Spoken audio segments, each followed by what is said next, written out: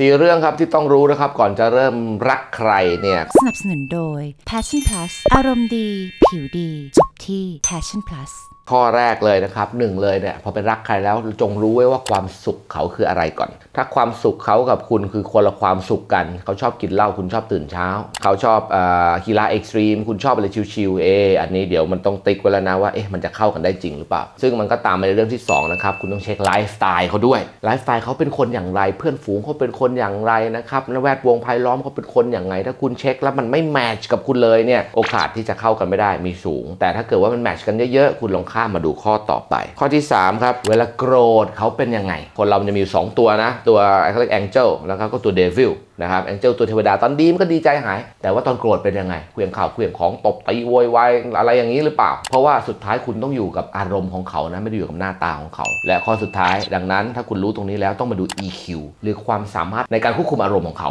ว่าเขาทำได้ดีหรือเปล่า ถ้าคนเรามีความสามารถในการควบคุมอารมณ์ไม่ว่าจะเป็นเรื่องดีเรื่องร้ายเวลาคนโกรธคนอะไรเขาจะค่อนข้างนิ่งคุยด้วยเหตุผลอันนี้อยู่ได้นะครับแต่ถ้าไม่มีปี๊ดเรื่องนั้นโวยวายด่าทออะไรเต็มไปหมดนะครับทั้งวี่ทั้งวันคุณอยู่ไม่ได้หรอกอยู่ไปก็เหมือนขี้ข้าอารมณ์ดังนั้นเราจะไไม่มองว่ารักเขาแค่ไหน เราต้องดู 4 ข้อนี้ด้วย อยากอ่านออกอยากทำเป็นลองเรียนคอร์สที่ first class ของขับกิกดูสักหนึ่งรอบ เดี๋ยวคุณจะเข้าใจเรื่องพวกนี้หมดเลย ถ้าเข้ามาครับ